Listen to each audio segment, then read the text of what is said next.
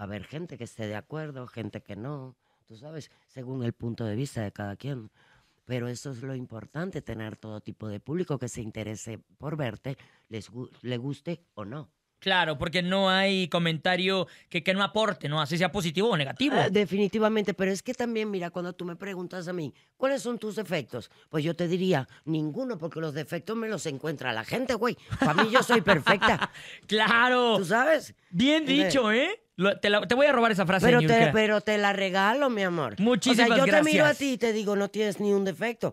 Pero puede venir un envidioso que le moleste esa voz tan encantadora que tienes en el micrófono a través de la radio y, y te busque, te encuentre defectos. Entonces tú vas a decir, perdóname, pero me tienes envidia, bebé. Ay, oye, y qué padre que también eh, utilizas todo de, de una forma tan positiva.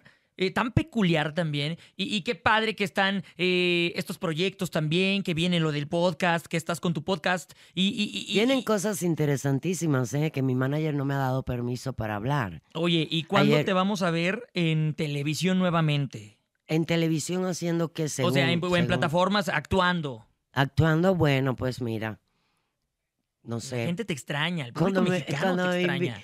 Lo que pasa es que me han hecho algunas invitaciones y la verdad me da huevo hacer novelas ya.